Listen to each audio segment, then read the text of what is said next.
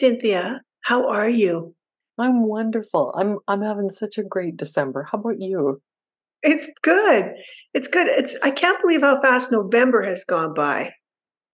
You know, we were so busy in November, and now it's already December, and this morning it snowed a little bit. Yeah, I I like I like the dusting of snow. I have to admit. Uh, Mhm. I think it just makes it feel a little more festive. I it's been a long time since we've had a Christmas uh, without any snow on the ground. It has. It really has. Yeah. But let's start with an introduction, Barb. Yeah. Uh, this is Podcast On, brought to you from Yarniversity by River City Yarns, and we are Barb and Cynthia. Hello, everyone. Hi, everybody. It's nice to be back. It's been a whole month, and it, I've missed everybody. well, and you've been away as well. You want to tell Mhm. us uh, where you've where you've been and what you've been doing? Yeah. Well, um, it was Mario's birthday in November. His birthday's on November 11th. and it's our sort of Memorial Day or our Remembrance Day here in Canada. And so he uh, wanted to go to visit some car people that he knows about. And, and so he booked a trip to Texas, and I kind of tagged along. It was so much fun. He got to see a few YouTube kind of guys that he's followed for a long time and visit their shops in Texas. And I got to go to a knitting shop. Nice. really, Yeah. And you met up with a, I think you met up with a friend or two as well. yes. Well, I asked a few people to give me recommendations of their favorite shops in the Dallas area where we were going to be. And um, Elaine told me about McKinney Knittery in a little town called McKinney. And um, I also got the thumbs up from Carissa Browning, as well as uh, a few other folks. Well, so I knew from a few really good friends that this was the place to go if um, you know you wanted to see a unique yarn and fabric store. hmm So I've got I did a little video and um, filmed it from the perspective of actually driving into the downtown of this historic town. There's some beautiful old houses really close to the downtown area, and they uh, it happened to be the uh, sort of like Black Friday, Cyber Monday kind of weekend, Thanksgiving when we were there, and so the whole town was decorated with um, Christmas decorations already and a big tree. Nice, nice. Now, I've had the privilege of watching your video and your discussion, your chat with um, Ginger, the owner of Yes, yeah. McKinney Knittery. So I noticed at the very end you included a picture of a hat. Do you want to tell us a little bit about the hat? That was fun. So I asked Elaine if she would like to be on the video with me talking to Ginger, and she said no, no. She she was too shy, and so um, we we I kind of respected that and kept all of the customers off camera as much as I could. But on the way back to my hotel, Elaine and her friend Kathy were so generous. They gave me a ride back to the hotel as opposed to having to take an Uber. And we went the back roads. It took us 45 minutes and we had the greatest chat all about fun times. And Elaine showed me her latest hat that she had knit. It was one of Nancy Bates' hats from the Park book. yeah. And uh, it was uh, it was beautiful. I had to take a picture of it. Nice. So that's Nancy Bates, Knitting the National Parks, that book. Yeah, Yes, that book. I can't remember which park she had knit, she made, but it was so pretty. That's She lovely. So there's a little cameo of Elaine's hat in in the video. So uh, that'll come up in a little bit on our uh, as we as you continue to uh, stay on with us. We've got this beautiful video to show you of McKinney Knittery in McKinney, Texas, and Elaine's hat has a special place right at the end of the video. So stay tuned to watch for that. Yeah, Um, trip. Yeah, I'm glad you got to take it, you know, before sort of like the holiday season. So I guess my next question, Barb, is are you ready for the holiday season? Are you ready for winter? Like I what's what's on your needles right now? I feel like I am. You know, um, we took Ann Budd's Design Your Own Sweater class, and I actually got mine designed and finished. Oh, I, I'll show you up, stand up. nice. Yeah, I wanted to do a cardigan, and um, I wanted to do it out of fine yarn. And this was a fingering weight merino that I found in uh, Boulder at a yarn shop there. So I was really happy that um, I, I could make it and put it all together. There are things that I probably will do differently the second time when I do it. But what it's done is it's given me a template to work from for future sweaters. So I'm really excited about that. And I'm going to do another one, make some changes to it.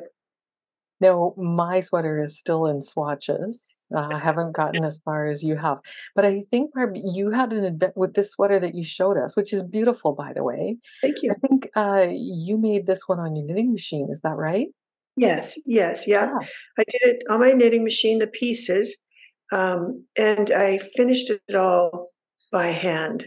hmm Yeah, Yeah. and seamed together. So um, it was faster, you know, than hand knitting it, especially because it's in fine yarn. Um, but I really found that it took a lot of time to put the pieces together, hmm and that's where I wanted to really spend my time was on the finishing. Well, I imagine a project like that on the knitting machine not only taught you a lot about, you know, designing your own sweater based on your own gauge and on your own measurements, but it also taught you a lot about using the knitting machine as well. Oh, for sure. Yeah, Yeah. it did. And kind of um, some of the finishing, like I could have done the whole neck band and and the bandings by machine, but um, I tried it and they just didn't turn out like I wanted them to. So, you know, there's nothing like doing your own three rows out of four, you know, when you're picking up a band. Right, right. Yeah. When it's in your hands, you can actually kind of see how it's going to turn out and make changes on the fly. Yeah. So, Well, I just want to say, you know, as your sister and as your business partner, I think like kudos to you, Barb, for taking on these projects on your machine because I think that, you know, that's what makes us better at whatever we're doing, right? Is taking classes and then putting it to practice. So I, you know, feel a little bit embarrassed that I've only got swatches done on mine, but it, it'll come. I've got, I've got feel planning out some time for it. But you know, kudos to you for continuing to work on uh, on your machine and on getting becoming better and better at it. I think every time you every time you pull out another project, I just I think, wow, that's amazing. And so I want to You know, I just want to say my time is shorter than yours. I, I. I have less and less time to knit, so I have to hurry up. Okay, we won't get into. We're not going to dig into that one. I, Oh, uh, oh, okay. All right. you're fine, right? You're healthy. Everything's good. Oh yeah, yeah, yeah. But you know, you never there's only so much time at the end of the day. So if I can use my knitting machine to speed up some of the, Yeah, you know, plain old stockinette sections, I feel that um, there's a place for everything in our crafting. absolutely. Absolutely. And I want I want it I want it to be clear that I think, you know, I don't think that, you know, it, I don't think that it's a cheat. It's I not cheating, you're saying. no, not at all. I think uh I think that, you know, it- again it's like I I keep thinking about I should pull out my spinning wheel and get back to spinning yarn and I should pull out my loom, my knitter's loom and you know make something. And I it's a struggle, right? Because we've got to choose between what we're going to pay attention to, what we're going to practice. And so Yeah. I I really heartfelt want to say, you know, kudos to you for taking the time to really invest your energy into learning how to use the knitting machine to its best you know to its best, right? And Yeah. and that requires practice and it requires Oh a my lot of projects. Yeah. It really And does, Cynthia, and thank you for acknowledging that because, you know, you'd think, "Oh, I can just whip up a sweater." Well, that's not the case. I can't can't tell you how many fronts I actually made before I landed on this one, and I had to take my back and cut it in 2 because there were too many stitches for the needle bed. So there's all kinds of things that require a lot of thought and pre-planning. And when, you know, I'm knitting a sweater by hand, I can do that thinking about it while I'm knitting. This one I had to do on the front end. So it it really did take a lot of time to think things through and figure it Yeah, and map which I'm not the best at.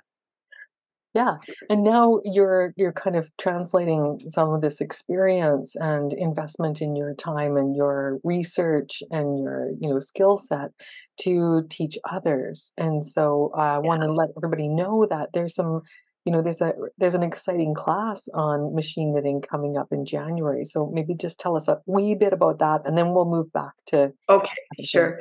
I I know I feel a little guilty. I think sometimes people think, "Oh, machine knitting, that's not really, you know, really hand knitting," and but, you know, um, again, I think we all need all the tools that we can get in our portfolio, and I'm proud of what I've done on my machine. I did lace hand warmers that I'm gifting for Christmas that are so beautiful. I can't tell you how nicely they turned out on my machine, and I can do a pair of those in an evening or 2. Mhm. So, it's probably not that much faster than hand knitting. I think I could do one of those in in a couple of hours, hand knitting, uh, but it turned out really nice. And, uh, the last class that we did too was all on, um, bias knitting, so pretty. This is another Christmas gift, Cynthia.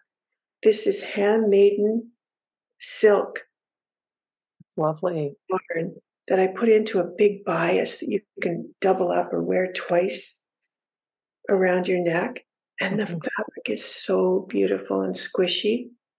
This has to go to someone really, really special for Christmas who loves purple. Mm, love those purple colors. Mhm. But in January, Barb, uh, what are you teaching in January Oh, machine socks. I'm teaching socks. I know. I like I I I thought, "Can we do socks on our LK150 knitting machines?" And you can. There's lots of patterns for them. A lot of them are, um, a little heavier sock, sort of like a boot sock. Um, but I found an instruction for one, and I'm trying it on fingering weight yarn. I picked up a skein of this when Oh. I was in, um, McKinney. They have Spin Cycle there, and this is a sport weight, so this will be a little heavier sock, but I'm doing some on fingering weight, and I'm doing them with a traditional heel flap because I like a traditional heel flap, it's my favorite. It just fits me, and nobody I couldn't seem to find any sort of YouTube videos with that in fingering weight, so I'm hopeful that it will be something that people will resonate with, our customers, and wanna do some as well. I'm I'm sure. just gonna do a kid's sock, like a small one. Yeah, yeah. Yeah. That's that sounds that sounds really intriguing. So that's coming up at the beginning of January. Yeah, Right, yeah. yeah. Oh, man. Well, before we get there, so, uh, th this is your your your grand finished object is your beautiful sweater. What else have you, uh have you got other finished objects that you'd like to share? Yeah, before I w uh, went away to Texas, I showed you I was taking some, uh, mittens with me. This is our shinny mitten pattern from Ann Budd. Yeah. It uses fingering weight yarn. Uh, this is in our Adam and Eve, and then I it has a liner. That's fun. Isn't that fun? Yeah. So, this was my first mitten. I think I had this one done or almost done, and I ran out of this mohair. I only had a little bit left. I think I robbed it and put it in another project. So, I used, uh I got another skein of Ito from McKinney Knittery. Mhm. Ito.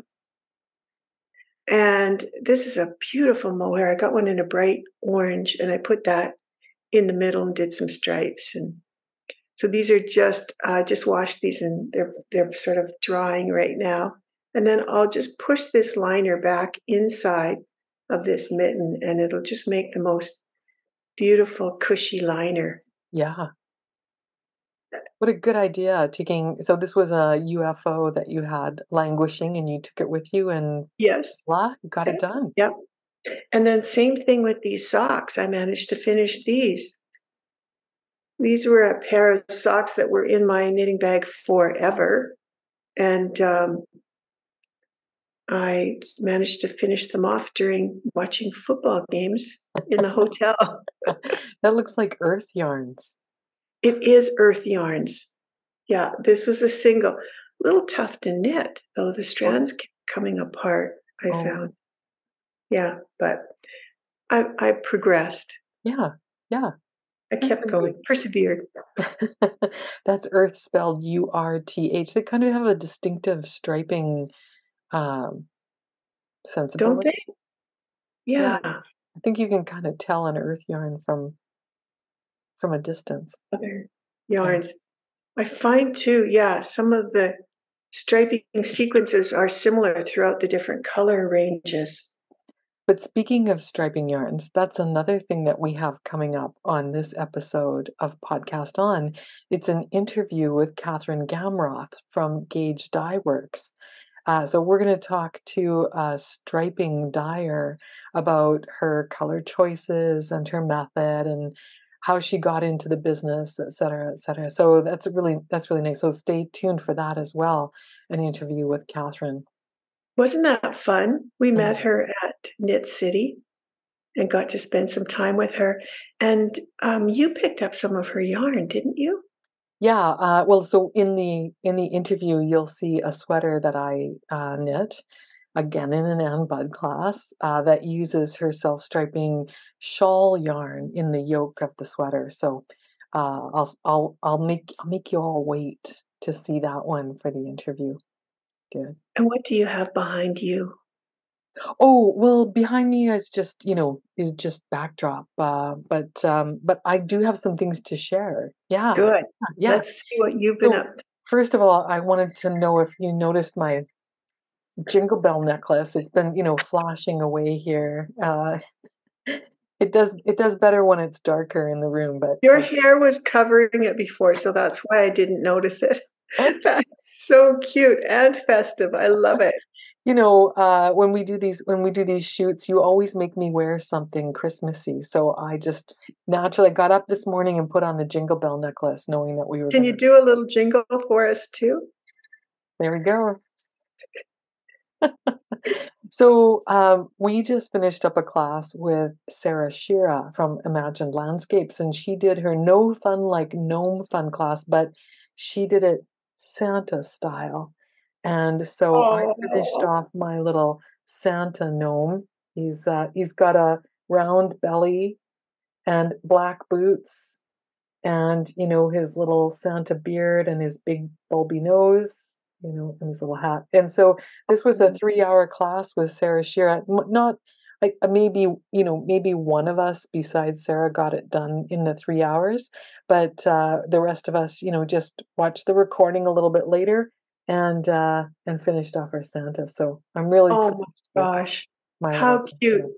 right? So did you have fun making them? When I saw it last, you just you had the hat and I think some arms, maybe a beard done.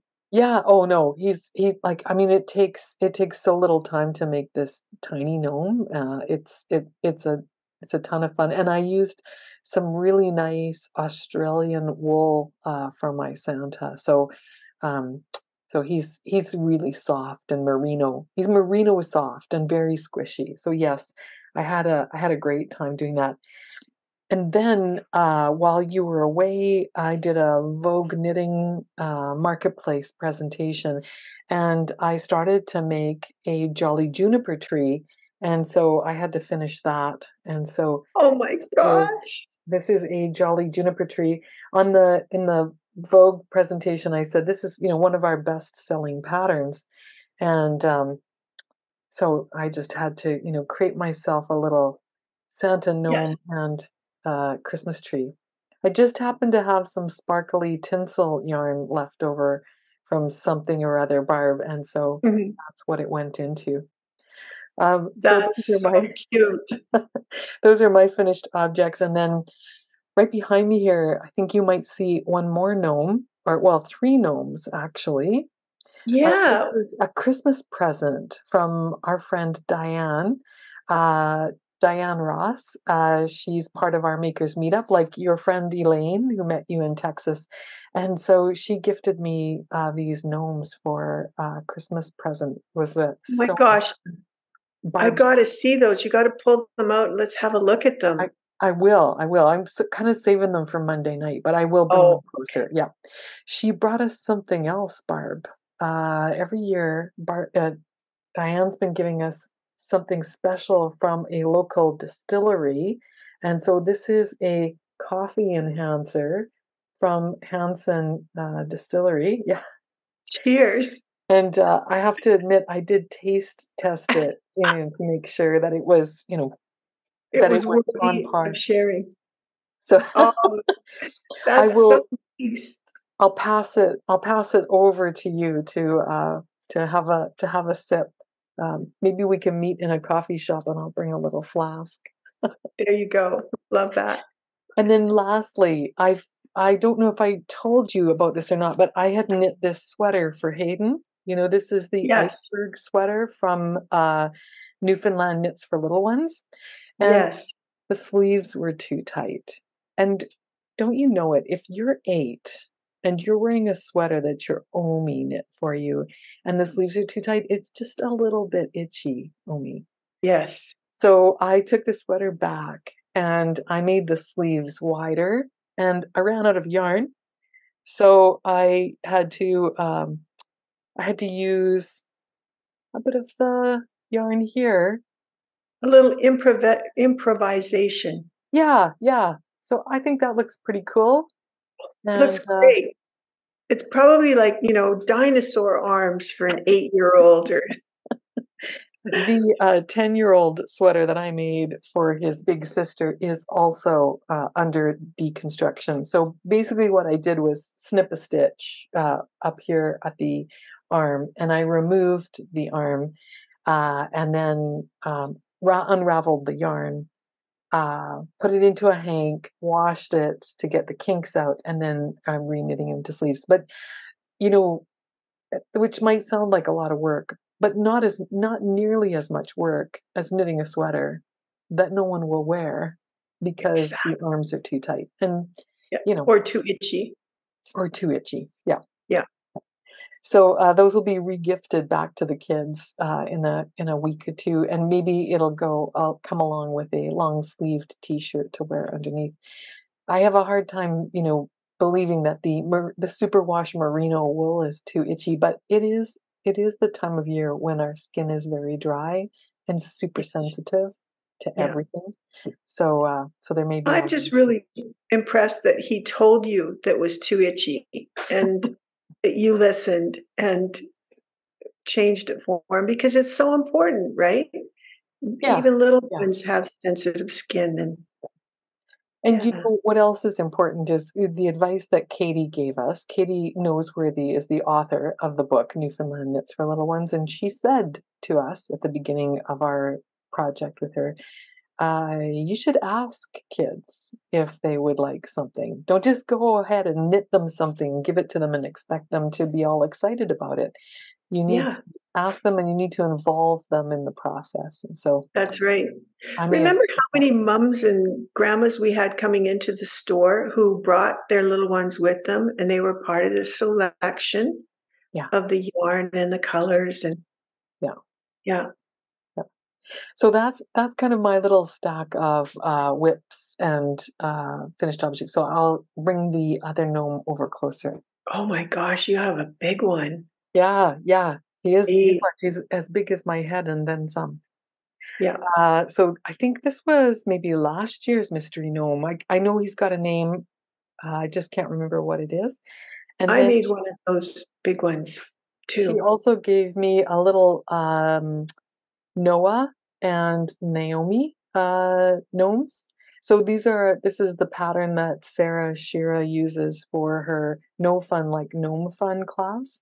And Yeah. uh, so I've got two gnomes in the same uh, colors as this guy. So they're going to uh, they're going to hang out on my shelf here indefinitely. And while I'm at it, just one more thing. Diane also gave me a pair of Queen Vicky's wristlets, and Diane is another. She's a fellow machine knitter, and so I believe she did these on her knitting machine. Wow. And look how nice those are, They're beautiful. right? So I really lucked out uh, with that because I because I still have the you know the coffee enhancer at my house as well. So Nice. That's great. So we're going to get to see those again tonight because we meet up with our Monday night group right. and maybe we'll have more unveilings. That's right. That's right.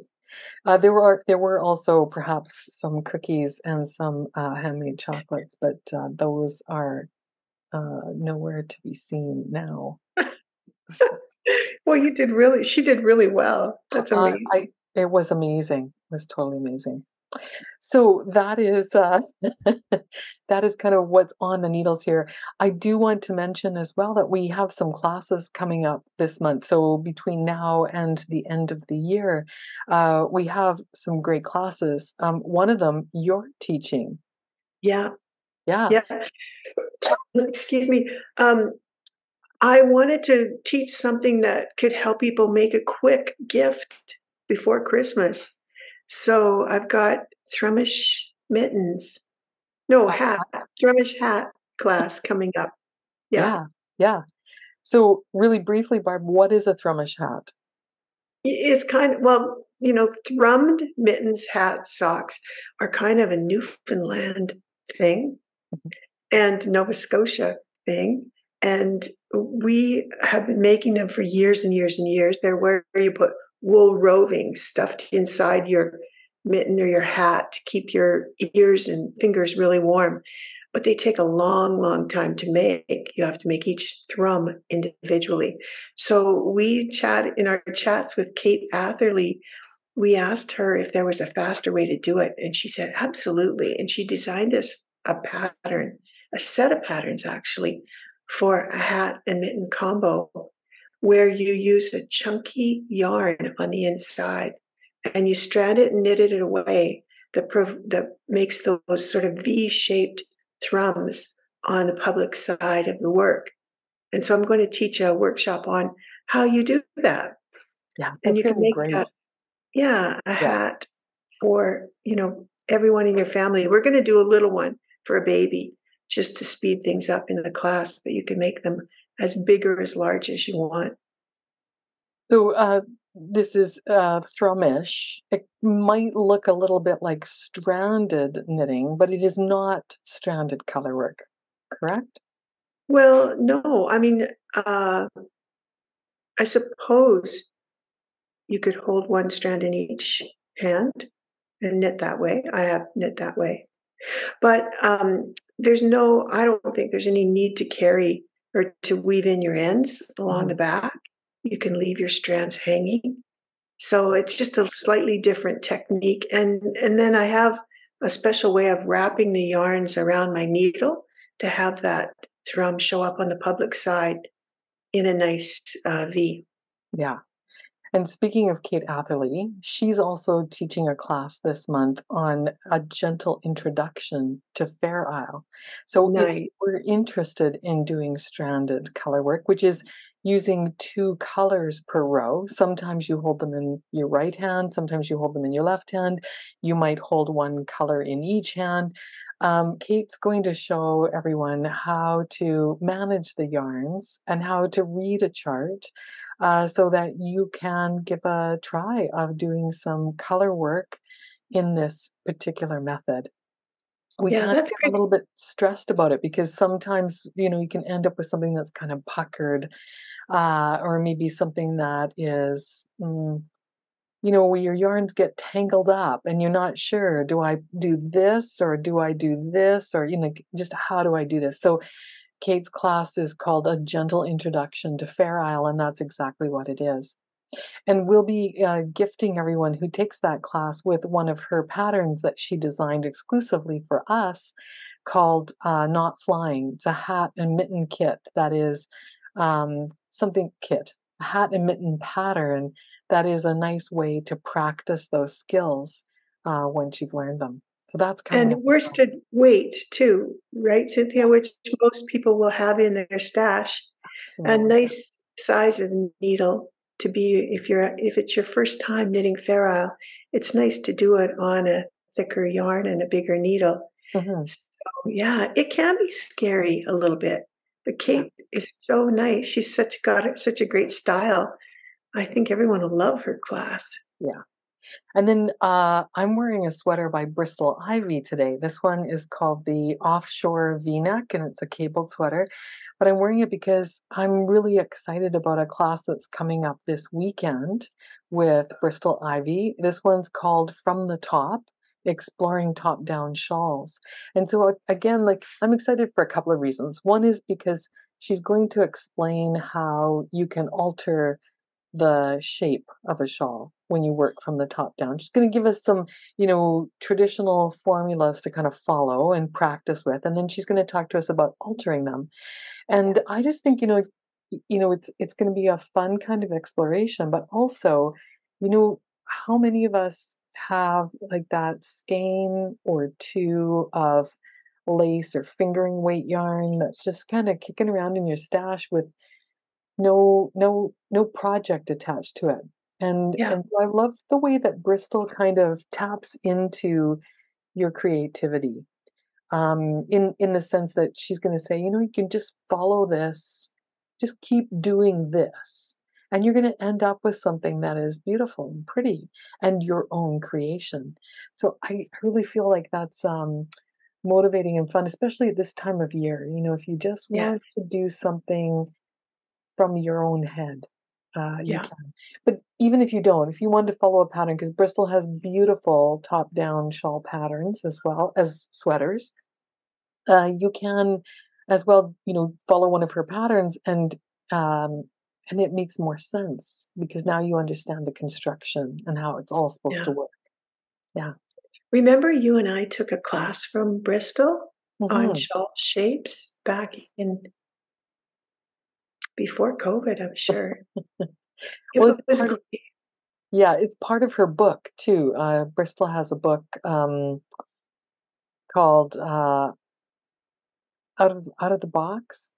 Yeah, Uh, I I, think that's it. I'll, I'll grab it off my shelf and, and put a picture in here for you. But that also explores shawl shape. So she's really knowledgeable, but she's also a lot of fun. And I just think that, and again, it's not just Bristol. You know, Kate's a lot of fun, and you're a lot of fun. Is that when you take these classes, you're going to be engaged, and I think Mhm. that's key to learning and to, um, you know, putting a little trust in yourself that this is going to work out. And if Yeah, it doesn't, uh, you're just inventing something new. that's right. Yeah. Bristol's very mathematical too, and she's got such a great way of explaining things. I think she helps you build confidence in your ability to come up with your own hmm shawl shape, whether you want it long and and narrow or triangular or whatever shape you want. That's right. And if you're in, well, not if you're in the spirit of learning, but one last thing that we're going to do before we break for the holidays is have a fiberside chat with an Irish, uh, with a with a lovely Irish person named Vawn Corrigan, and she's written two books on Irish knitting, specifically on Aran knits and let me just look here. Right, Irish Aran and Irish Tweed. Uh, so she's going to talk to us about the um, the traditions and the patterning and the hmm, the knitting history that comes from Ireland. I think that's going to be really exciting and fun. So I bet she's got an incredible accent. I bet she does as well. Yeah. So um, excuse me. So come and join us uh, at Fiberside Chats as well. and uh, you'll have your December just kind of all all in the bag. Yep. All right. Well, we we will be back before the end of the year. We always do a little, you know, end of year kind of wrap up uh, for podcast on. So there will be, uh, you know, a Christmas edition that comes out a little bit later this month. Um, but until then, friends, uh, we hope that you are um, safe and happy and warm and that you are uh, that you have something on the hook or on the needles that you are enjoying. Maybe it's on the frame if you're working on a weaving project or on the wheel Yeah. if you're spinning. Uh, we love we love all the crafts, and we'd love to have you come and join us for our makers meetup, which is on Mondays. Uh, information is on our website, and uh, we'd love to have you join us there as well. Mhm. So take care, everyone, and stay on for the uh, the the video tour of McKinney Knittery and our our lovely chat with Catherine Gamroth. From Gauge Dye Works. Yes. Striping yarn. See you soon.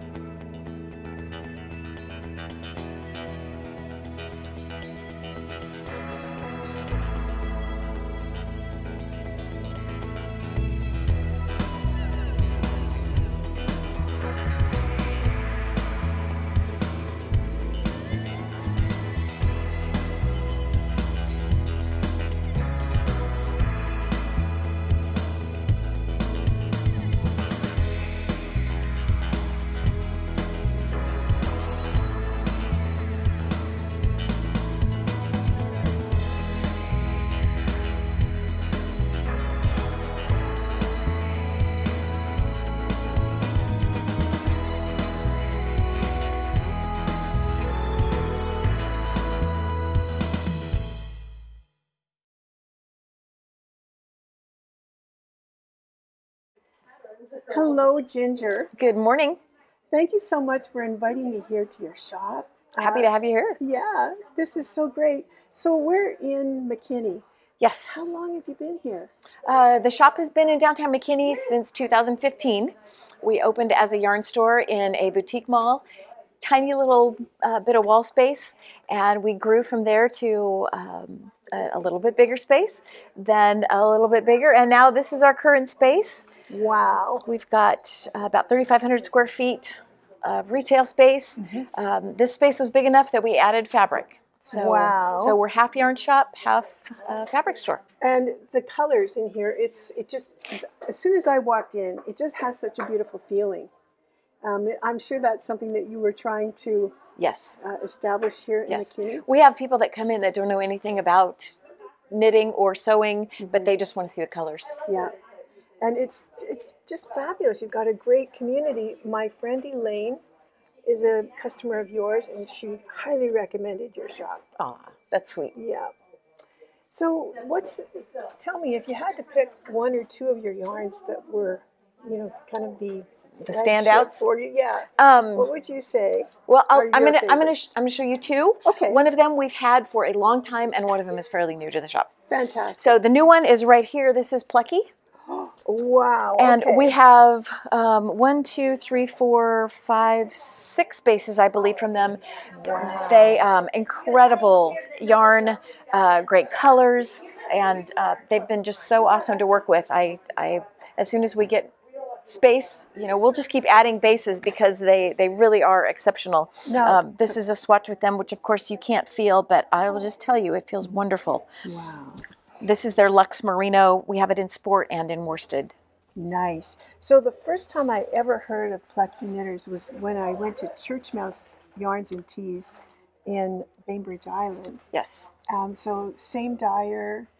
And well, now um, I'm, I'm not exactly sure that when in the process that would have been, but Sarah doesn't own them anymore. Oh, okay. Uh, but she has opened a shop in Bainbridge Island called the Lamb and Kid, Okay. um, which is definitely worth a visit. All right. We just might have to go there. Yes, yes. So, and she's got all sorts of new fun yarns there. uh, but not the not the plucky yarns. Nice. So this is this is the newcomer to the shop that we love. It's a great one for up front here Let's with all the colors. around. Go ahead. And, Okay. And just give us. a This is the quick- Terra DK, awesome garment yarn. Then this is their Primo Fingering uh, merino cashmere nylon, and it's got, um, I believe, 20% cashmere. Yes, so it's it's It really nice. Nobody really complains nice. about touching that yarn. Yeah. And we've got the mohair silk and the Surrey silk, Oh. then the worsted um, over here. well, I'm a bit of a sucker for mohair. Are you? Oh, just yes. It's popular now for sure. There's something about it. Just love it. The colors are so vibrant, aren't They, they? they really are. Wow. And we we will always have a lot of pink. It's my favorite color, so you'll see you'll see probably a little bit more than the normal amount of pink here. Fantastic. Then the one that we've had for so long is Magpie. Uh, Magpie Fibers. She is a hand dyer out of Frederick, Maryland, and um, I fell you- in I fell in love with her yarns at a show, and I I pestered her until she finally gave in. I thought I'm just going to keep sending her emails until she um, files a restraining order, but thankfully we got the yarn before the restraining order. So um, her their big bases they're swanky. Uh, it's a merino cashmere nylon. They've got swanky sock and swanky DK. All right. So, and we've added we've added other bases. Um, the swanky sock is from the midpoint here, coming forward all the way here through, and then the same colors on the back side in the DK. Wow. Colors are awesome. The feel is awesome. Uh, we've added her bulky. I just have to get back here Yep. and just show you some of this beautiful furniture that Ginger has too. It's the shop is just decorated so beautifully. This hat was made with the bulky Wow. that oh, um, that Magpie has in all their colors, and of course you can you can imagine this is my favorite. That's you. It is me, yes. Uh, we've got their mohair blend, and then over here, this is their equinox base. Sorry, I'm getting ahead of you. Oh, and they have a line of mohair as well. Yes, of course. Oh, what a beautiful palette. You know, it's it's uh they've got a lot of other colors in there too. It's almost it's almost like a purpley gray. Mhm. Wow. So this is their equinox base. This one's a fairly new one for them. Uh, perfect for our climate. It's 65% silk, 35% linen. Oh, And nice. so these are the colors back here. I've seen it made into garments. I haven't got to make one yet, but it is on the list. So this would be a nice Texas summertime warm weather fiber, yes. wouldn't it? Yes, absolutely. Gorgeous colors. Equinox. Mm-hmm. Beautiful. This is a beautiful area. Yes, yes. Uh, we love this area. This uh, this was important to us when we moved into this space that we had a spot that was always available. The space we were in before this was uh, smaller. We had one table, so that was for classes. That was for people that came in that needed help. That was for people to come in and knit. Uh, but here we don't have to worry about scheduling around anything because this is always available. Um, and I can't see it on the camera, but straight above, this used to be so. This building was built uh, around the turn of the century, 1899, 1900, and this was a skylight, which was not a very smart thing for Texas. We get a lot of hail, so there was a lot of water damage. Um, so at some point, a long time ago, they got wise and they closed that in. But we wanted to keep the the look of it. Yes. So um, in Texas, in the porches, they use this blue color. Uh, it's a it's a traditional thing. There's I've heard a few different reasons why. I don't know what the what the truth is. Um, so when we hung the chandelier chandelier here, and it's just a great place for people to meet. People have made friends here. People get help here. Everyone's really good about welcoming uh, the new folks and welcoming those that might need some help. Uh, and of course, we're available to help as well. Um, Monday through Thursday, we stay open late till 8, and we have uh, knit togethers from 6 to 8. And they all have a different host, so they have a different feel. And um, you know, people, their their own little groupies for those nights. Tuesday evenings, we have a group of, of 20s and 30s somethings, um, and even some teenagers. Very And nice. they have to, that's the biggest group. they have to bring in lots of, of extra chairs so everyone has a place to sit, and um, it's it's just it's been a great great place. How many years have you been here, Ginger? Now, In this location, yeah. Okay, we've been in downtown Mc- McKinney since 2015. We've been in this location since July of 2020. Wow. So we started renovating the building in November of 2019. Just before the pandemic. Just before, yes. surprise, Yeah. surprise. Right. Yeah. There's not too much you can do about that, right? No. You have to make the best of it. Mhm. And I, I it, this shop has just such a lovely feel. I congratulate you Thank on you. being here in this community. I think your customers must really love it. What do you say, Oh, ladies? they- do you like they- this shop? The, It's perfect. the, the customers and the, the staff are a big part of that that community Mm-hmm. feeling. Thank you so much for having us here today. We really Absolutely. Absolutely. Now, if people wanted to get a hold of you or or order from you, have you got an online shop we do. as well? We do. McKinneyKnittery.com or DowntownDryGoods.com. Both of them will take you to the, the online section of our website. Excellent. We'll put There's also a little video of the shop on there too if someone wants to see a little more. fantastic. Thank you so much. Yes, thank you.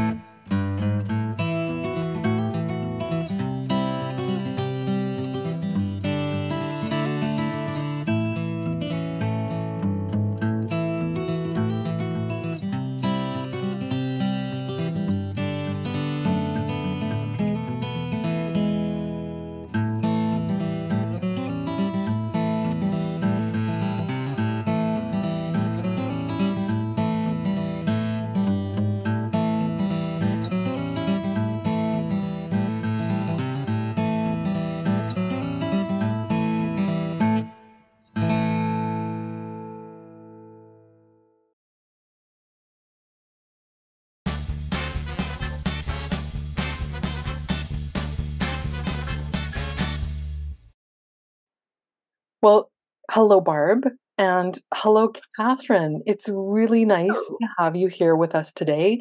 Uh, Barb and I are visiting with Catherine from Gauge Dye Works. Uh, we were in Knit City, Vancouver. We've been to Knit City, Vancouver a lot. Barb, would you agree? It's uh, it's kind of a place where we like to go, and um, we were there this this uh, fall Spring. as well. Spring. Yeah. Oh man. We traveled a lot this year, Catherine. We went to Knit City in Montreal too.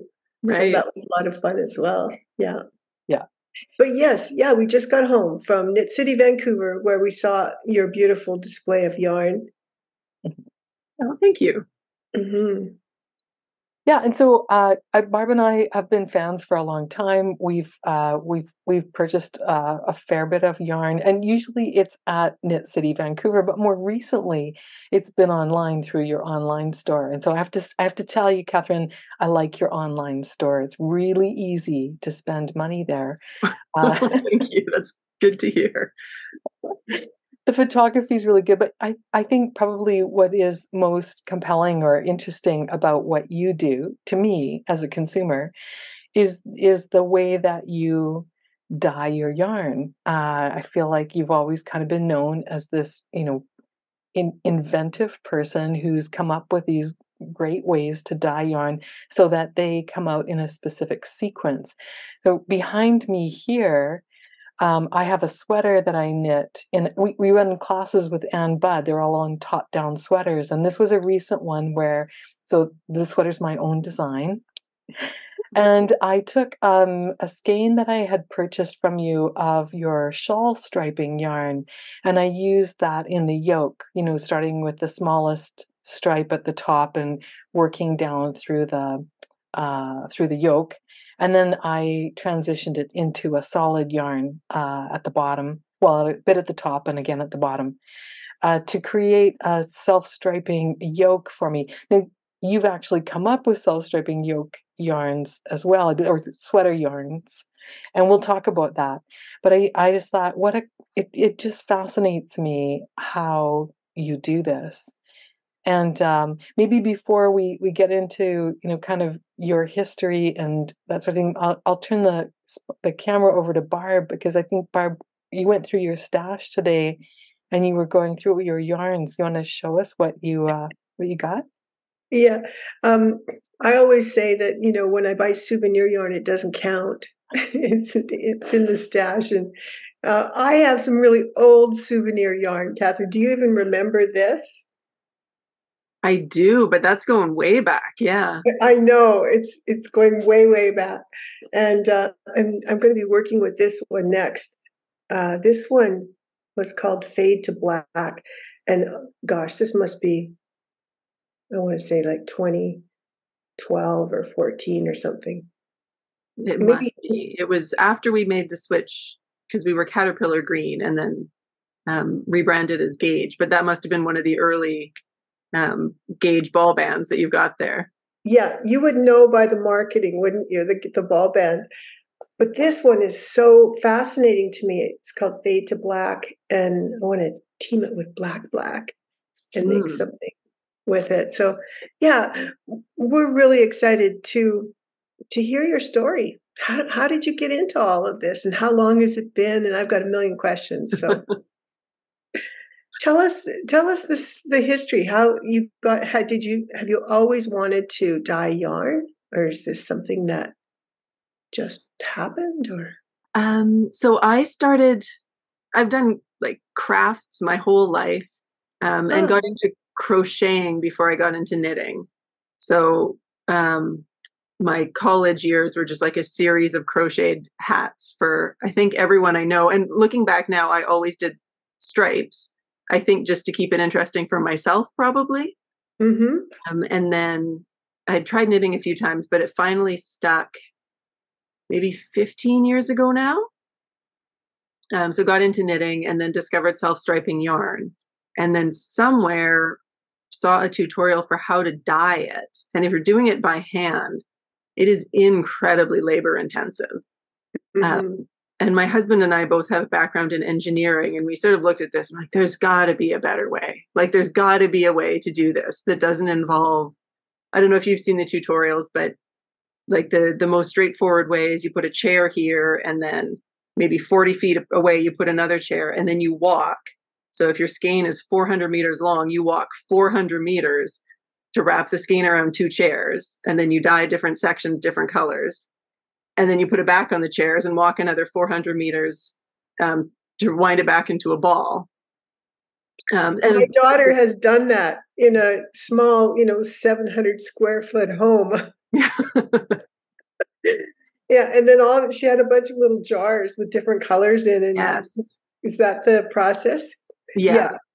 So we it's saw crazy. that and we thought, well, there's no way Regia or Knit Picks is doing it that way when they produce on a mass scale. There is just no way they're paying people to, even if you have a, a warping loom, I think what what weavers would use, you can use that to get that big loop. Um, anyway, so we we just thought there's got to be there's got to be a better way. Um, so that was the start. Was just kind of a fun, um, not as a business idea, but just as a surely, like surely we could do this differently as a challenge to your engineering backgrounds. Yeah.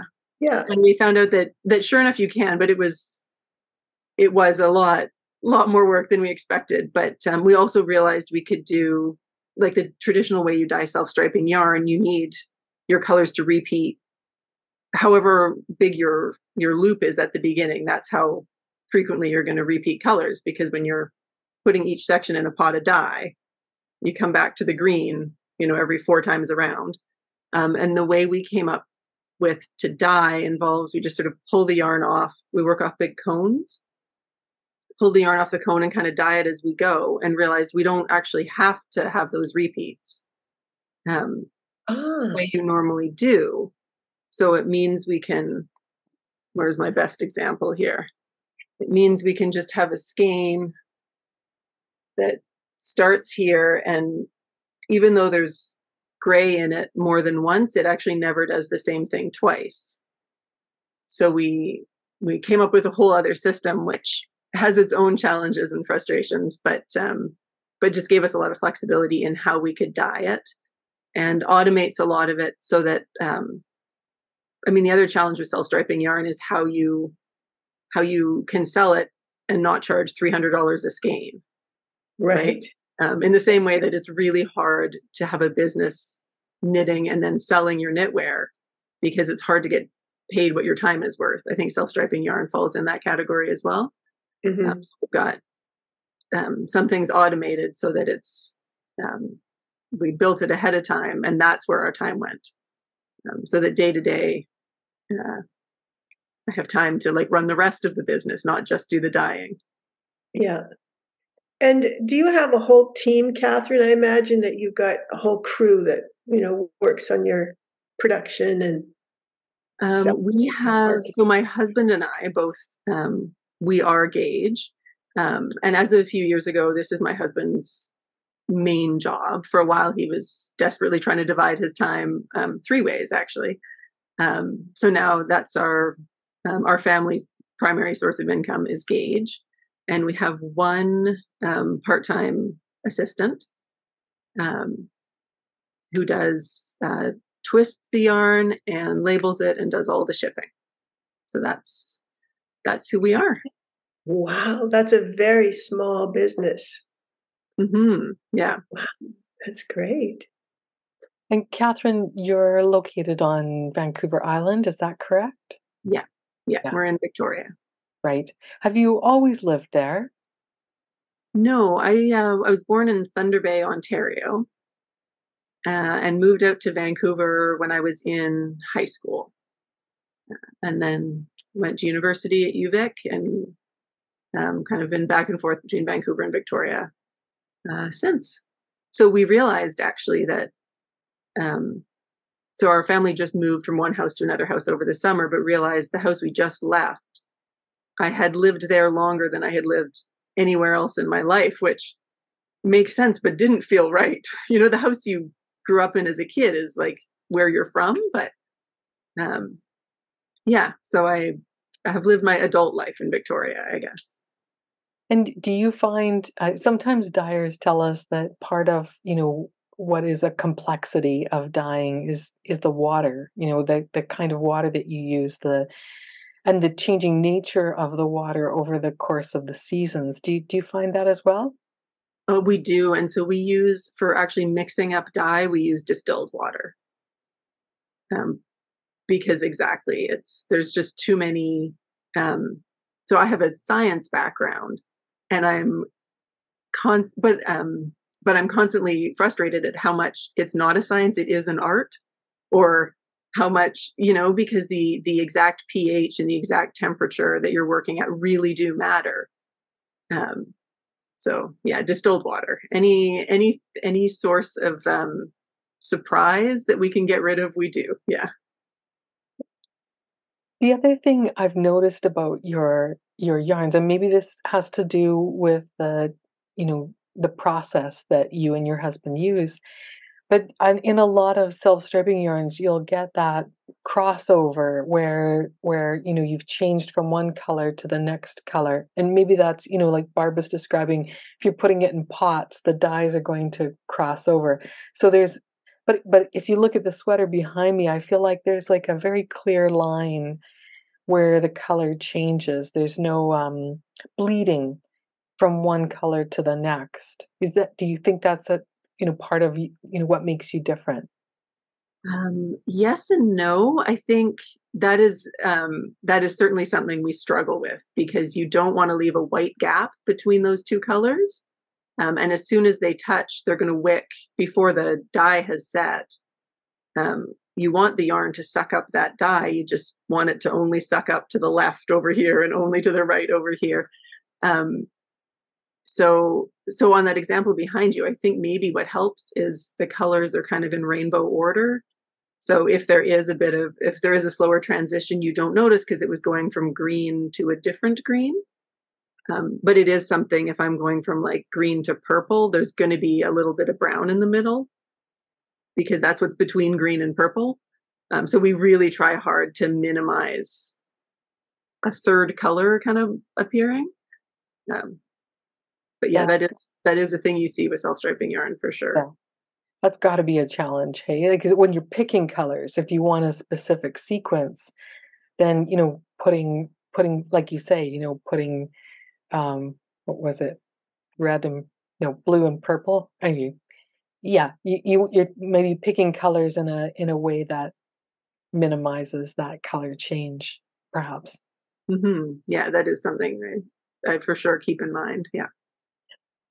Let's talk about color for a second. Mm-hmm. how do you um, how do you think about color? What are your thoughts when you're going into your planning, and you know um, what inspires you when it comes to color? So I am someone who, um, you know, some people have like a very clear sense of style, like you can just even if you don't see their face you know it's them because because they always wear hot pink or they always their house is just an extension of and i am the opposite i just i like everything a little bit and i enjoy novelty i think more than consistency maybe or something or maybe i'm just um, get overwhelmed with choice. So like i have a a gray couch you know rather than going for a, a, a emerald green couch like part of me kind of wants. Um, so i don't feel like i have um, a very like personal sense of style or color. Um, but I think my work does. Um, and part of that is because we use, we actually only use four primary colors when we dye. We use oh. the same as your like office printer would, would a CMYK. So cyan, which is like that bright blue, magenta, which is like a hot pink, yellow, and then black. Um, so there's a lot of colors you can make with that, but not all the colors. There's a lot of like deep, beautiful reds that we really have trouble with. Um, so I think my work ends up having a fairly recognizable palette um, because because of the choices we made up front with what colors we're starting with. Mm-hmm. Well, isn't that interesting? So, in a way, that that's kind of freeing, isn't it? You really only have to think about four colors. Mm-hmm. Yeah, and it is a way of it is it just does simplify things, mm-hmm. um, but also does mean there are times when I feel like everything I do looks the same. What if I wanted to do something different today? Uh, and it, one of the nice things about dyeing self striping yarn is it means when I go to somewhere like Knit City and decide to go shopping, um, I I don't do any of that for the most part. So I, I can I can shop around, and it's I often find myself the colors that I don't dye, like lots of reds and stuff. I don't are the things I end up buying from other people. Yeah. So you're drawn to some of the things that are different from what you do. I think so. Yeah. Yeah. Wow. Um, are there kind of tried and true things that you've done with your palette that you love to repeat over and over? Uh, rainbows for sure. Okay. Um, one of the first that actually that colorway I held up earlier, this like alternating gray and rainbow stripes, um, was one of the first colorways I ever developed, which was 10 years ago. Um, so I was our first little fiber festival, the first sale we ever made, I was pregnant at the time, which makes it really easy for me to remember how old our company is because my son is about to have his 10th birthday. So that was 10 years ago. Wow. Um, so this was one of the colorways we had with us that first day 10 years ago. Um, and it's still one of our customers' favorites because people wow.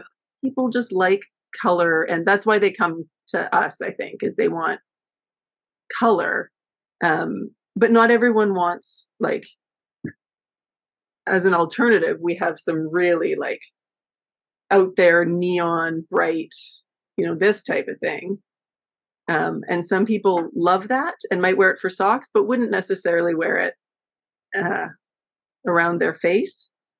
Um, so this has always been popular, but I do come back to just throwing a whole rainbow at it um, quite often. Normally not on purpose. I keep trying to uh, minimize and pull back, and then and then adding just one one thing back in. Mm-hmm. Let's let's go back to that hat uh, that you just showed us, Catherine, from mm because I think that if I recall correctly from your website, this is like a new kind of dyeing process that you're experimenting with. Is that right? Uh, yeah. So this this hat, um, and this is the full skein. This um, I can't do speckles. This is one of the things that just our process doesn't allow me to do because, from my understanding, with speckles, you um, so the dye I work with acid dye starts as a powder, and you mix it into a, a liquid, and then um, put the yarn in in the water. Um, whereas speckles, I think you take like the powder and just throw it at the yarn. I can't do that. Um, so I've been working on different ways to have that variegation um, and kind of a um, that random but still sort of cohesive look. Uh, so we that and this one folds into a musselburgh hat. So this particular colorway uh, was actually for our club last year. Um, so this hasn't been in our website yet. This was just people who signed up for our winter club. Um, and if I can go off on a little tangent here, this one, um, the theme for our club was the people in the club. Um, so we asked people to fill out a little form telling us their favorite colors, uh, and then came up with um, as many of those uh, as we could, and then just kind of put them all put them all in there. Um, so you can see there's more, like there's less yellow and there's more blues and teals and greens um, because more people have blues and greens and teals as one of their favorite colors. Uh, but what I did with this, um, I had done a big color swatch with all of people's favorite colors, or as many as I could manage, um, and then kind of threw it all into this one. Um, but then I had that swatch lying on my desk, and my husband walked by one day and looked at it and was like, "Well, that's a colorway right there." And so that's what what this one is. Wow. That's two socks. Um, so this we have just as a product now, and it's called 76 because there's 76 stripes. Um, but this one just started as the swatch for the other project. That's so cool. Was there a mathematical equation that you you had to analyze all that data? Uh, oh, absolutely. Yes, this is this is what I do um, and well actually for the all the data of just people submitting their telling us their favorite colors i just put it all in a big spreadsheet and then tried to group it into um, color families which like well is peach is that orange is that pink so there you know a little bit of judgment um, to be had there but then i looked at um, like i did make myself a little pie chart with what percentage was what color so that i could get the um, the per, the percentages right, the proportions right for the for the hat. Yeah. But there is a lot of pre-planning to dye self-striping yarn because before you start at the beginning, you need to know how much of everything um, you need to fit on one skein. Right. Well, and some of your skeins are really large too. Is, is that have to do with the striping sequence that you're going through? Yeah, so we have like the regular size skein, and then we have one that's one and a half times. Um, is well, partly because we can. I think a lot of dyers buy their yarn pre-skeined, so they they go with the size they've got.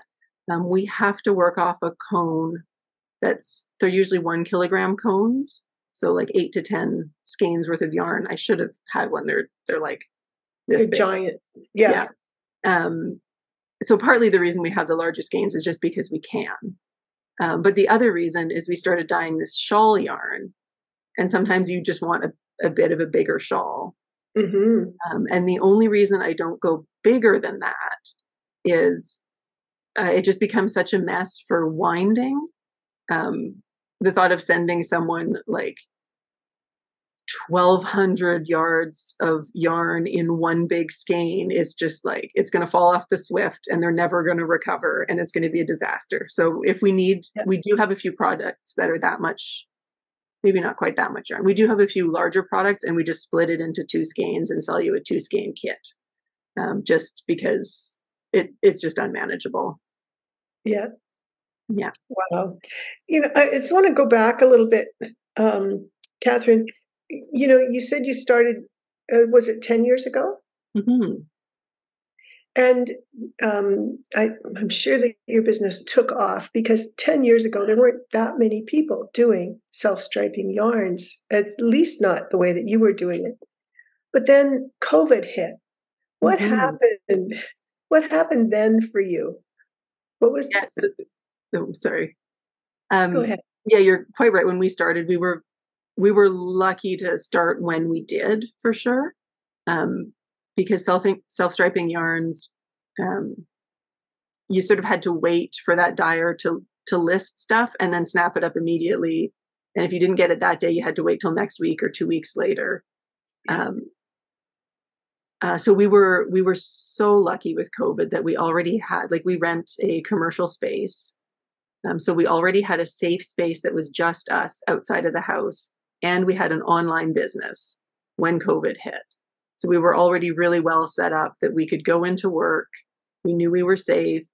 Um, our customers already knew how to find us online. Um, yeah. So um, getting a hold of our raw materials was the challenge for us during COVID. Mm-hmm. Um, but in we we were really lucky. We did manage a few things changed, and we're actually this this year we're actually making a lot of changes that I think trace back to supply chain issues that happened during COVID that haven't bounced back yet or that have just changed. Um, so we're sourcing a bunch of stuff from new suppliers now, I think, as a result of changes that happened during COVID. Mm-hmm. But um, but I think I think we were lucky that people who would normally travel to see their grandkids bought yarn and put all their love and all their good wishes for their grandkids into sweaters and into hats and into socks and put it in the mail. Um, so I, I think people were home doing a lot of knitting during COVID. Yes, yeah, we saw that too. Um, I think you know people really wanted an outlet because they were stuck at home, mm-hmm. and so their crafting and their making became very, very important. Cynthia and I started hosting classes and, and make alongs during that time via Zoom because everybody was on Zoom. And that was really appreciated as well. Which which yeah. kind of takes me to my question. I, I notice, uh, Catherine, and maybe you've been doing this all along, but I noticed more recently that you've been doing some collaborations with other people um, I came across you again, you know, with the solar system yarn because we were te- we were doing a class with Holly Yeoh. She was teaching tiptoe up socks, and she showed us her solar system socks. And I think the entire class went and ordered the yarn from your website after that because it's so cool. So, you know, how how do these collaborations come about? Are there you know some interesting stories behind you know what you're up to these days in terms of bringing other designers and other people into kind of into working with gauge dye works mm-hmm. yeah i um i think every every collaboration or every connection i've ever had has come either through knit city. I met holly at knit city um, or through you know random connections on instagram um, but Knit City, really, I have two times a year I get to see people who have either the same job I have or who have a job like being a knitwear designer. Um, so I had met Holly maybe my second year at Knit City, her booth backed on to mine. Um, and I believe she was carrying some of your yarns from River City, River City Yarns. I said that out loud. Now it sounds wrong. Yeah, um, that that year as well. So I may have even seen you that year in passing. Anyway, um, and Holly had a whole series of patterns from earlier in her career working specifically with self striping yarns. Um, so that always seemed like a good a good fit. And the way we've worked together hasn't been that she has taken my yarn and designed a pattern. It's more been me taking my yarn and saying, "Oh, that might actually work well with this pattern you already have, Holly." Uh, and when I'm going to hold up, so these you mentioned the solar system. Um, so this the the colorway is is the solar system. This is the sun at the top, and then all the planets. Uh, Mercury, Venus, Earth, Mars, all the way down. Yeah, I think I got that right.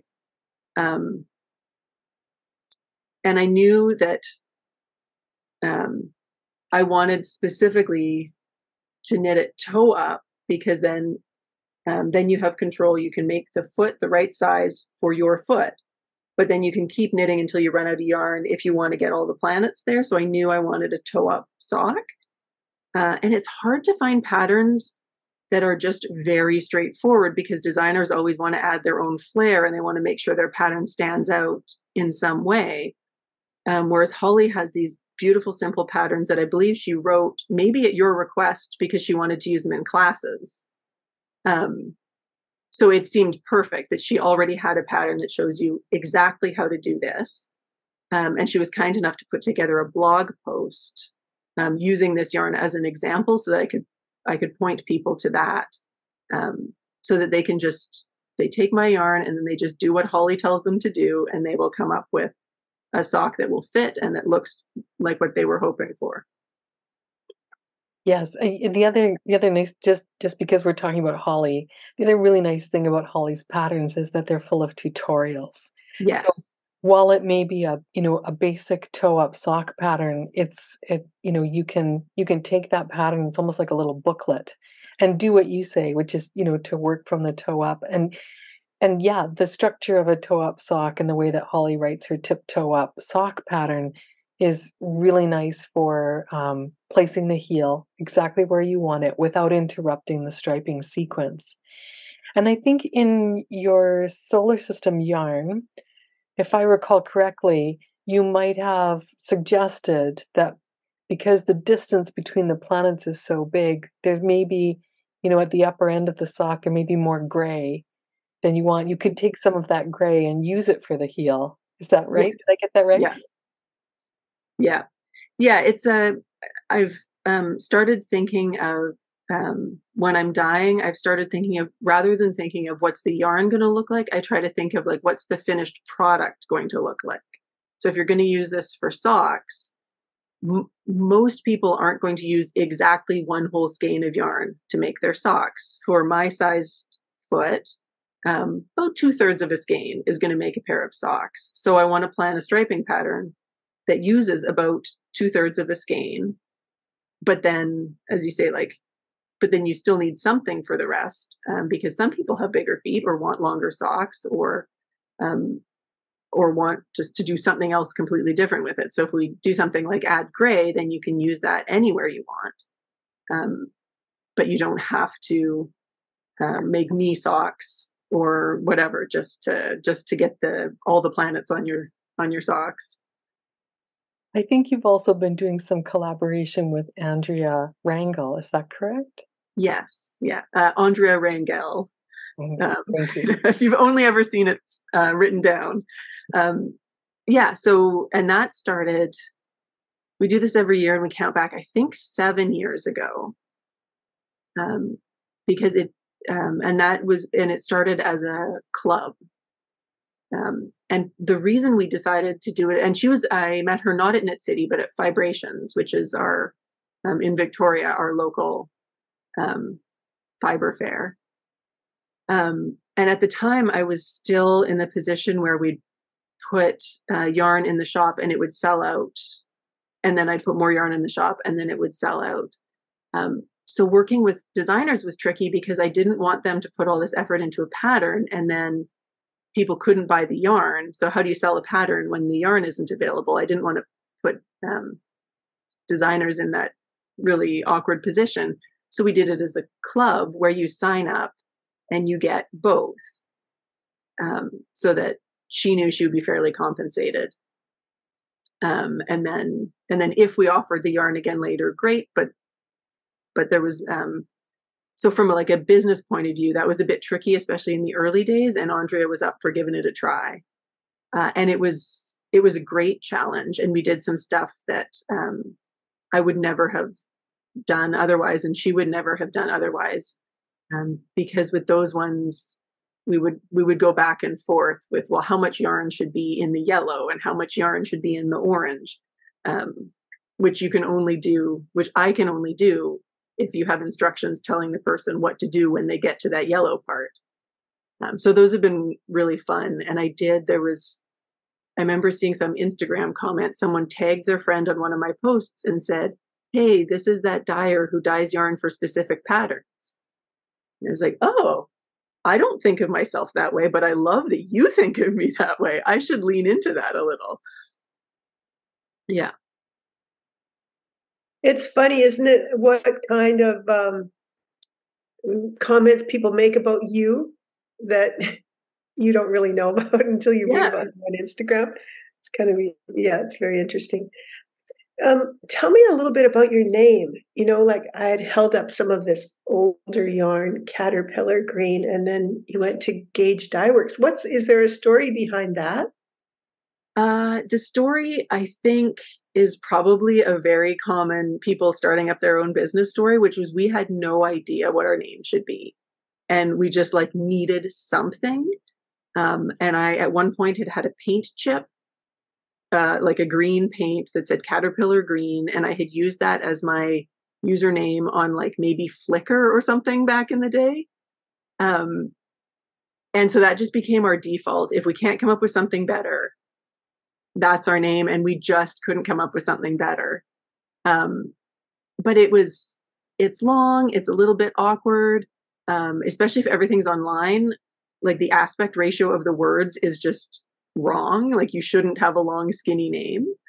Also, people pointed out um, that Cat G is also my name. And so they thought I'd like named it after myself, which I guess is no big deal. And I'm sure people do all the time, but I found that really embarrassing that I had like found this awkward name to celebrate myself in the anyway. Um, so we had been wanting a different name almost since day one. Uh, and it just took a while. And once we decided we needed to, it was like, it's time. We've just got to make this change. The longer you leave it, the harder it gets to change a name, right? Yes. Um, and once we came up with gauge, we were like, yes, that it's a knitting word, and it's it's a very like technical knitting word, but it is also the the name for like measuring devices and that aspect of what we do as well. Um, so it just seemed it seemed Gauge really felt like a good fit. And then it was just figuring out whether we were Dye Works or Yarn Co. or Color House, or we went through a whole bunch of of options. But then and then we just we just did it. Um, so if anyone out there has a business and is thinking of changing their name, I recommend just do it as soon as you can and don't overthink it and and get it over with. Yeah. And make it short. Make it short. Yeah. Yeah. we we have a funny story about that too. Being that our, our shop was River City Yarns, uh, we had a, a store that we had to purchase channel lettering for the front of the store. The the the shop, you know, the the landlord wouldn't take anything but channel lettering. And then when you have to pay for each letter of your name, yes. why, why, why didn't we call ourselves RCY? yeah. yeah.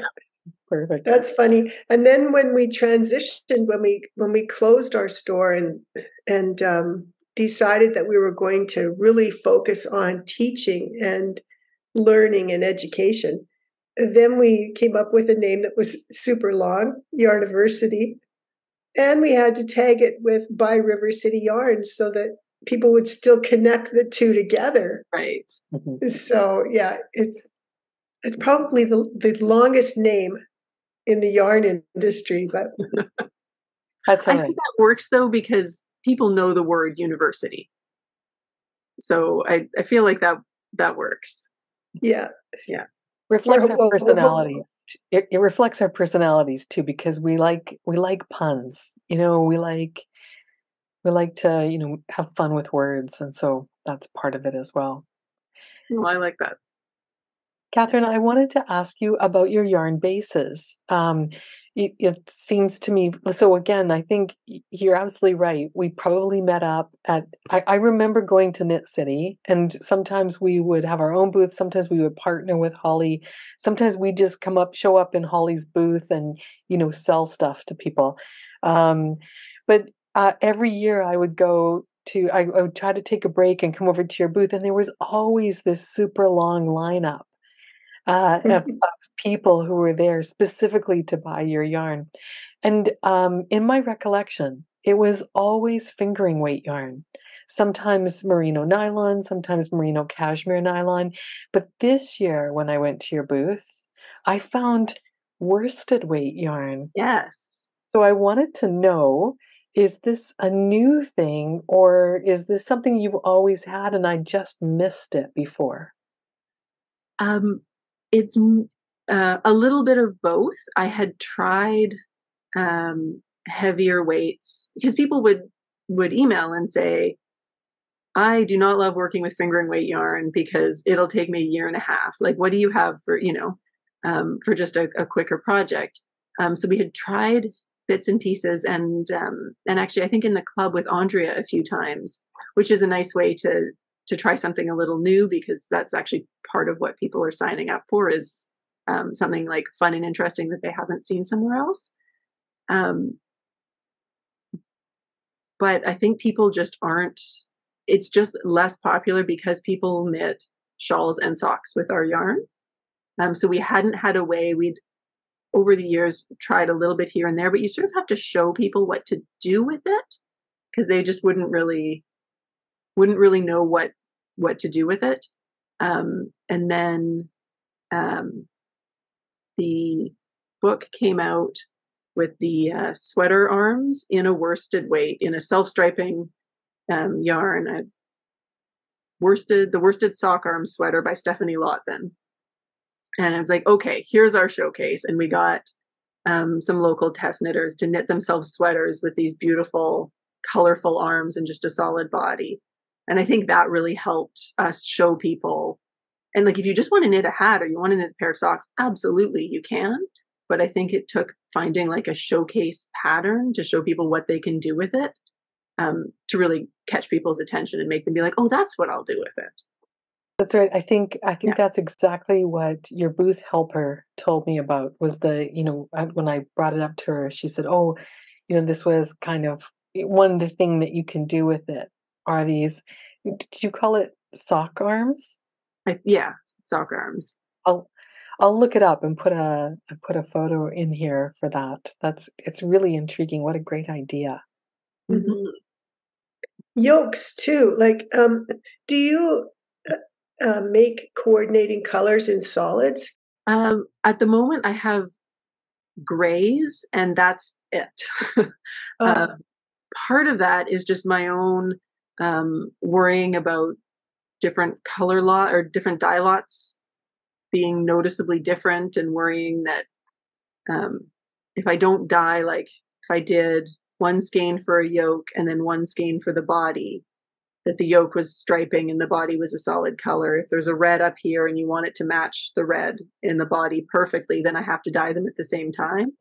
And the logistics of then like sweater kits, but what sizes. And anyway, it just feels overwhelming. So, so far, I've only ever done grays that coordinate. Okay. But I and, certainly do um, get requests for that because it would be, it would be great. Yeah. Yeah. yeah. And um, are, are you set up with your equipment to do other yarn bases like mohairs? Can, can you do other fibers?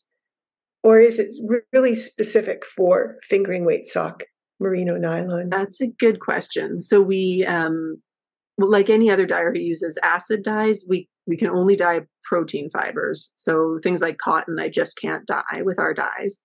Um, we do dye worsted, and that works pretty well. But I think that might be about the bulkiest we can dye, um, just because of because of how much time it takes and you need to give the dye time to get into the center of the fiber Saturation, yeah. To, to saturate. Um, and then there's things like mohair or even like a a single ply, like a really loosely spun that you might use for a shawl. Mm-hmm. Um, any any yarn that's like super fluffy. Um, I'm not sure. We haven't tried mohair specifically, and I've always been curious about it. But I feel like the possibility of it snagging or catching on itself um, makes me uh, nervous. I see. Yeah. Maybe it has to be a mohair blend. You know, wool, yeah. wool and mohair blended together. That might be kind of cool. Yeah, and that is something playing around with um, some fun yarn bases is something I would love to put some time into. What's what's on the future? What where is um, Gauge Dye Works going? Um, we we heard about you know your new worsted yarn. Is that something that you've got plans for? Um, yeah, I would. I would love to work with more worsted weight. Um, I think that's a lot of fun. And one of the challenges I've had, like our solar system yarn, is I think by far our most popular yarn ever. So of course, like, well, I should do a worsted weight version of that. Um, and then one of the challenges I've come up with is um, there's just not enough yarn in a skein of worsted weight to fit everything in that I want to fit in. Um, so that's a fun challenge that I am I'm looking forward to. Um, and I've also been really enjoying these sort of like data visualization projects, like the solar system, where there's um, the different stripes have different meanings. Um, I would love to spend a bit more time on projects like that. Um, if I can, the the one that I'm just working on now, or that I just just put in the shop yesterday, um, is these guys here which is um, this is a family of whales. So this is um, each each of the colorful stripes is a different individual whale. Um, there's a, a, group of whales called J-pod who I don't know if you've if you've taken BC ferries and looked out and been lucky enough to see orcas, you've seen one of these whales. You would have seen J-pod in all likelihood. Um, so the um, skinnier stripes are the younger uh, like the juvenile whales and the thicker stripes are older and the color tells you um, whether they're male or female. So like this would be um, the oldest female there. Um, this is an older male and these little guys are like juvenile males and juvenile females. Um, and and since i'm talking about this too so the reproductive age females are these kind of orangey ones and these bright red ones. So we're cheering for them because uh, when you have a population that's that's endangered, um, you need babies, so you need reproductive age females. Um, anyway, so I've been working on projects like this that I just get. Um, I think that's really fun to be able to put a story behind it, and then hopefully people find it beautiful and nice to look at on its own without the story. Mm-hmm. But um, but I, I would love to work on more of that type of project. Your socks reminded me of birds. There's so many birds out there and so many beautiful birds. Do you have, um, are you limited in the amount of different colors that you can have, or can you have like a three colored stripe? Um, I can have, um, I'm not sure what you mean by three colored stripe, but. Well, can you have like a skein of yarn with just three colors in it? Yeah. Yeah. Or absolutely. you could have one with 72. Yes. Yeah. Okay. Well, that's such a range. That's so incredible. That would be a designer's heaven, wouldn't it? You could uh, you could do so much. I'm sending you pictures of birds. okay. I actually have, and I I don't think I have a sample beside me. I'm just going to look behind me here. Uh, so my collaboration with um, Andrea Rangel last summer was birds. So this oh. is our Anna's hummingbird sock, um, where each one of those is is a hummingbird. And yes. you'll have to use your imagination a little bit because this is just just some yarn and not a pair of socks. Um, but each group of three here is a different bird. um, Andrea is a birder. Well, she's a bird photographer who you know learns the the names and calls of the birds as she goes out with all the birders.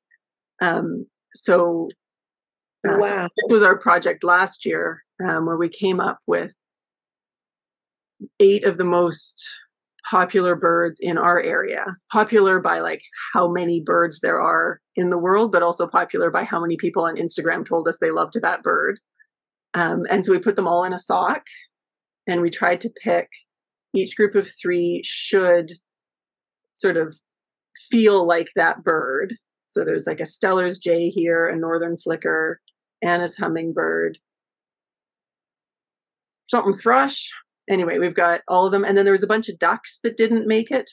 Um, this is a duck, but a lot of ducks are beautiful, uh, but like real 70s. And when I tried to translate them into colors, they just didn't look super beautiful. So they they didn't make the cut. Um, and then anyway, Andrea's pattern, her sock pattern for this, um, had a little area. I don't know if my camera will pick it up. There's some purl ridges in there. Mm-hmm. Um, and there's a thing called a birding checklist, which shows you the species of bird and then for the 12 months of the year when you are most likely to see that bird in our area. So she translated that checklist um, here so that for each different bird on the um, for each different bird on the sock, she had encoded in it the checklist like frequency of of what times of year you are most likely to see this bird. Oh my God, that is so cool. It's like a temperature scarf for birding. Yes. Is, is yeah. that So we had we had a lot of fun with that one. So we did the um this was actually one pair of socks. Like one sock had these ones and the other sock had those ones. Um, and then we went and also made individual skeins for each bird uh, because if you want matching socks, you want matching socks. Um, are but that was, still that was a fun project last year. are those still available on your website?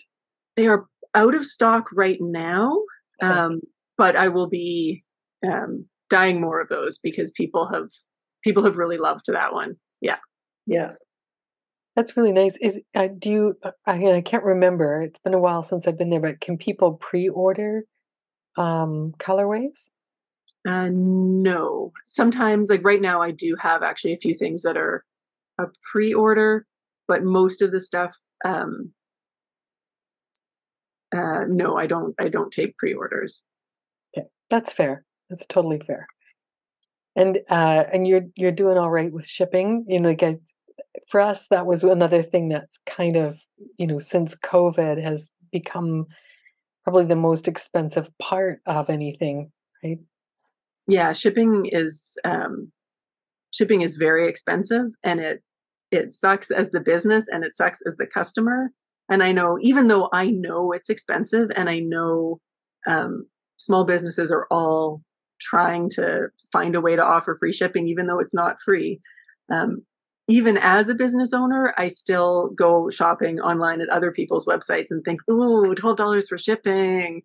you know like it, i'm sure it costs them that much i just don't want to pay it um, yeah so it um, our our customers are understanding um, and i think also this might be why we have a lot of customers in the us um, i mean there's a lot of people in the us so it makes sense but also um, it is actually cheaper for me to ship to the united states than it is to ship to most of canada so i'm able to offer better rates uh, shipping to the US. Yeah. Which like eats me away inside, but I don't get to decide these things. So Well, we have some tips for people who, you know, for Canadians who are shopping. F- First of all, I'll, you know, I'll- I always look to see how much do I have to order to get free shipping, because that's a possibility. And then, you know, if you just team up with a few friends, eh, you know, if you order one skein of solar system yarn, your sister's going to want one skein of so- solar system yarn as well, right? And then, you know, you might want to make more than one hat or more than one pair of socks. So you, you might as well just double the order, get four skeins, and then you know you've got you've got yourself covered. Uh, and cuts down on and the a few shipping. grains, few skeins of gray because gray is the best neutral that you could possibly get, and that can go with everything. Yeah, yeah, and we do we do have um, if you like a free shipping um, cutoff um, for exactly this reason, and and we do get orders of you know four of this and four of that, uh, and then a, a nice little note being like, "This is for my whole group." Which, if you wanted to buy it and knit it all yourself, I mean, I that's wonderful. and I appreciate your business. You don't have to explain, but uh, but there are people who do feel the need to like it's it's not all for me. Yeah, that's funny. So, do you have any other collaborations planned, Catherine? Um, I actually made a few connections at Knit City, um, and then got um, quite separately a few emails. And I'm just trying to think. I think all of those are in such early stages. I probably shouldn't say it's happening for Oh. sure. Yes. Um, but Stephanie Lotven, who I mentioned earlier, um, she does a lot of design work specifically for self-striping yarn. Um, so I don't have a project planned with her, but I do um, like I have I have intentions that she doesn't know about to just have some samples made up in her patterns, um, and hopefully we can uh, collaborate in the future. Nice. Um, I took a class when I was at Knit City with Cecilia Campochiaro, Yeah, and she was rather uh, enthralled as well. Uh, And I think she has a bit of a sort of a technical mind. Uh, and so she really was, I think, planning something in her head with your yarns.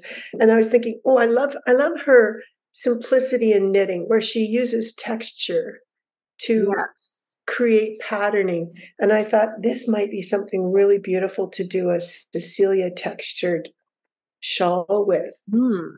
What are your thoughts on this one? I think that would work beautifully with some texture. Yeah. Mhm. I do find um, there's so many beautiful patterns that just don't make sense if you already have self-striping yarn. Yeah. You know, if you have cables or something that goes this way and then stripes that go that way, I just feel like they fight each other. Um, whereas the texture runs along the stripes Yes. and just kind of um, enhances both. They both kind of enhance each other and play off each other. hmm Yeah, and Cecilia was kind enough to come by our booth, so I did get to meet her in person, uh, which was wonderful. And we chatted a bit, and I'm I'm keeping my fingers crossed that she will uh, she will do something with our yarn.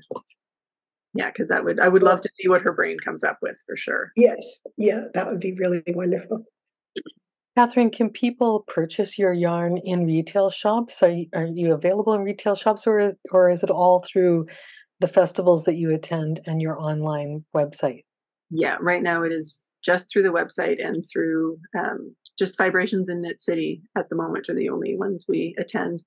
I would love to start doing um, just like on on the business side, we we can't really justify doing wholesale. We would have to raise our prices in order to offer wholesale rates, and it it just doesn't make sense. But as a like a, a trunk show or a um, I would love to start thinking about ways to to partner with yarn shops, even if it is just for a weekend or just for an event or just for a a small order. But I haven't um, haven't set aside the mental energy to to make any of that happen. So for now, it is basically just on the website. I think I think there's a maybe, and I'm just going to put this out there and see what happens with it. But maybe there's an opportunity in the future to do a collaboration with you, uh, uh, Catherine, and Yarniversity, because I'm thinking as we're talking about shawls, you know, we have Kate Atherley coming up in November. She's going to teach a class called Easy Shawl Starts. And we have um, Bristol Ivy is also coming to teach uh, top down shawl construction and it'd be so fun to you know be able to use uh you know one of your shawl, striping yarns in in one of those classes uh to just to, you know because everybody's invited to kind of play with it and do their own thing and so it might be kind of fun maybe you know down the road to do something where you know we teach a class specifically using your yarn Well, that well, we should definitely be in touch about that. That sounds amazing, and that actually reminds me that Kate Atherley does have a shawl pattern that I think used the blue version of that fade to black um, that Cool. you have. Um, that was sort of a hap shawl. Um, Oh, okay. I think that it's a really great opportunity to to help people learn knitting techniques um, by using color. You know, sometimes if you can say to them, you know, um, knit, you know, five stitches in this color, or if you have a color change or striping, um, it can be a nice, easy way to teach. And I, I'm really excited about the worsted weight because I think that you'd get through into different colors faster, Mm. which from an education perspective might be easy. We can maybe teach around that. Yeah, I know when I started knitting, I think the reason I liked self striping yarns was it just like socks take a long time when you're new, and especially when you keep making mistakes and like, where did these extra stitches come from? And um, I think the reason I liked self striping yarn so much when I first started out was it's just so rewarding. Like every five rows you've accomplished, like I'm on a different color now. Like, look at me go. Um, whereas with a solid color, you need to go six inches before something happens, you know? Yeah. yeah i think it is a, a a fun way and then you can start yeah like every fourth stripe why don't you add some texture or you can add start adding your own personality in there your own elements or you just like if you get bored of stockinette then how about the green stripes are in ribbing you know That's a great idea. Do great you idea. still crochet? Um, not much. I never found it to. I'd always my thumb would always get sore. The last time I tried to pick it up again, I uh, I would need to take some ergonomic crochet lessons to get back into it. I think, um, but I do still every once in a while. I will still.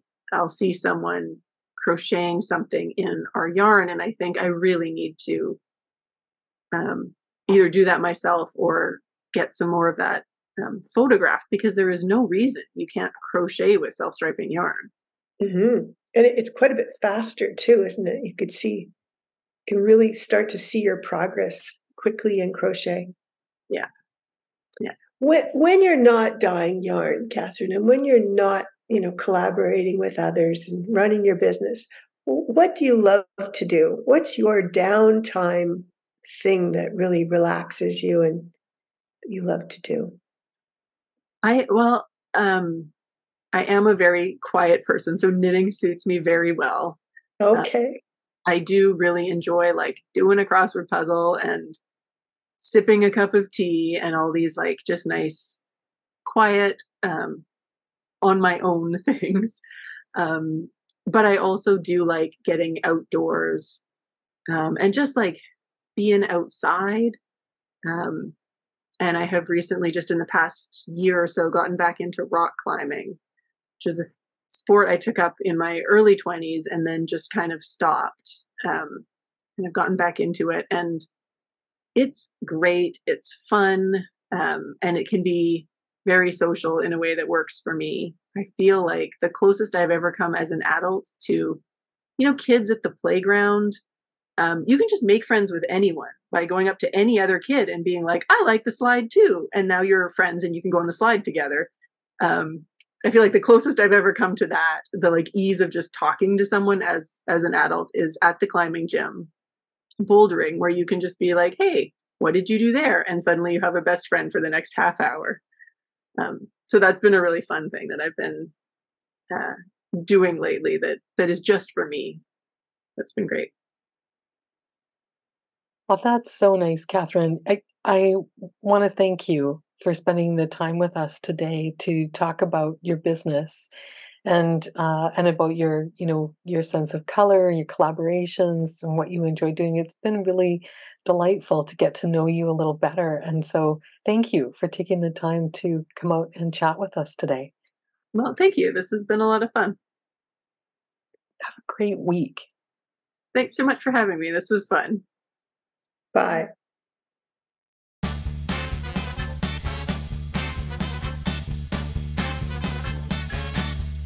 Great. So it wasn't too scary, right? Not too scary. Not too scary.